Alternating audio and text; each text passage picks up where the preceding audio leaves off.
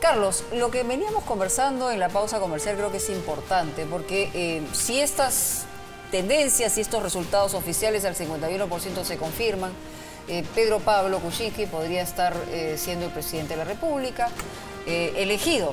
Pero va a tener una gran responsabilidad no solamente en la presidencia, sino en la relación de tender el puente con el Congreso de la República y con esta mayoría eh, fujimorista. ¿Están dispuestos a hacerlo? En realidad debería haber un presidente en el Congreso de consenso, como se señala, incluyendo, digamos, este, la posibilidad de que sea pues un fujimorista y no porque ellos mismos voten por ellos mismos. No solo estamos dispuestos a hacerlo, sino que tenemos que hacerlo. Y creo que hay intereses comunes entre nuestra posición y la de la bancada fujimorista. No nos olvidemos, como dije en la anterior intervención, que el pueblo votó porque este modelo no se cambie. Y por eso es que entró Keiko Fujimori y Pedro Pablo Kuczynski a esta segunda vuelta. Está en el interés también de los fujimoristas que el modelo no fracase. Si el modelo fracasa, ellos no van a ser opción para la siguiente elección, porque la gente como, como se mueve el péndulo en la, en la, política peruana, se va a ir hacia el otro lado. Así fue como ganó este Humala. Salvo que se ponga de posición radical, ¿no? Como lo que podría ser, pues, no sé, un Antauro Humala, un Goyo Santos o cosas de esa naturaleza. ¿Que el Fujimorismo se ponga así? Digo yo. pero bueno, siendo este, eh, un grupo político que apoya el modelo, bien difícil se van a convertir en un antisistema.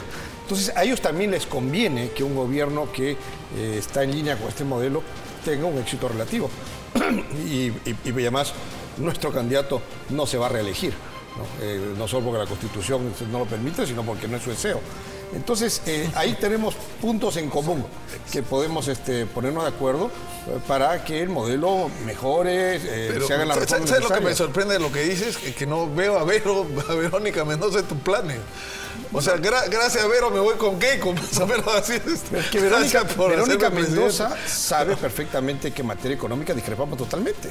Ellos lo saben. Ya, inclusive ellos han dicho. discrepamos, discrepamos del, modelo económico que defiende el señor Kuczynski, pero lo votamos, votamos por él por otras razones, que es más democrático que el otro candidato. en oposición a Keiko Fujimori. correcto. no apoyo a PPK, pero voto por PPK. Entonces, imagínate tú, yo, conversar, o nosotros, pero conversar con Mónica Mendoza, decirle, apoyo este modelo económico, te voy a decir, no.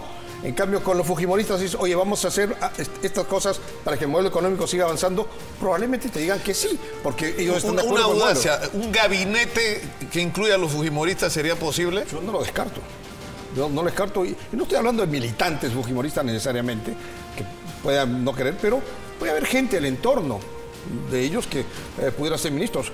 Yo no elijo los ministros, por lo tanto estoy diciendo algo eh, enteramente personal, pero yo no lo descartaría.